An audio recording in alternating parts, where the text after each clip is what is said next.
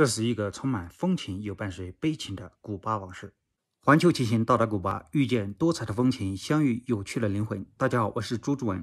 在哈瓦那大学门口，偶然遇见未曾谋面但是联系多年的吕大姐，她非得邀请我到家里做客，顺便认识她的弟弟毛俊杰。他弟弟听了我的环球骑行的经历，热血沸腾。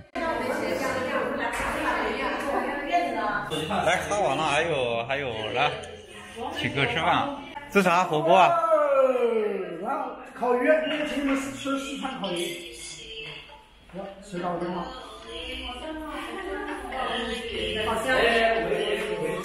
哇！以前经常，你是不是在带团呀？好，你是不是在带团呀？呃，带团是吧？啊，坚持坚持。他往那的什么古巴的水果，绵绵的好甜啊！哎看这里，从苹果来看这里啊，小猫。你这个鱼是在哪儿买的呀？人家送的。哦。我上次鱼收拾了至少两个小时。这个鱼后来收拾了，我们上次去钓。这什么鱼啊？就那个鱼箱啊，我们钓了，出海钓了一箱，是啊，好哇，钓的时候当时挺高兴的，哇，回来收拾。我说两个小时没有。我五个人花了三个小时才把一箱鱼给收拾。嗯，我不用说去了啊。嗯。哈完了中国产，好爽啊！有缘万里来相会。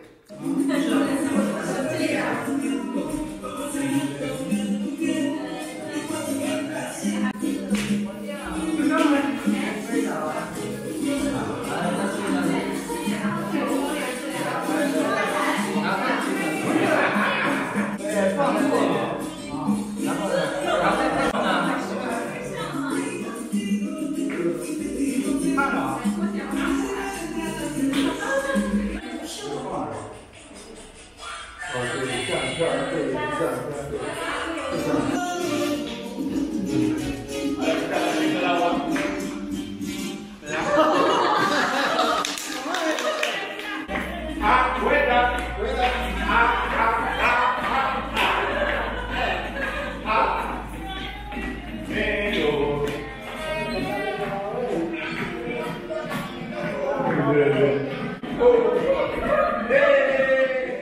到我给自行车打包行李，准备离开古巴，俊杰一直陪伴着。或许他也想吸收不一样的磁场，毕竟很多人心底都有一个环游世界的梦想，只是能迈出那一步的人少之又少。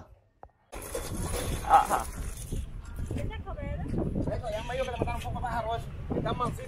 再见，再见啊，再见 啊！啊！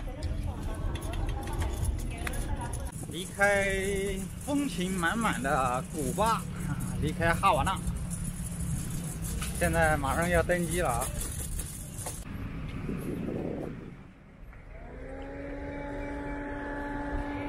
再见，古巴。有的相遇便是永别。半年后的二零一九年九月，俊杰在带团途中得了登革热，误以为是感冒，没有及时救治，等发现时为时已晚，在古巴永远的离去。愿他天堂安好，依然还可以遨游世界。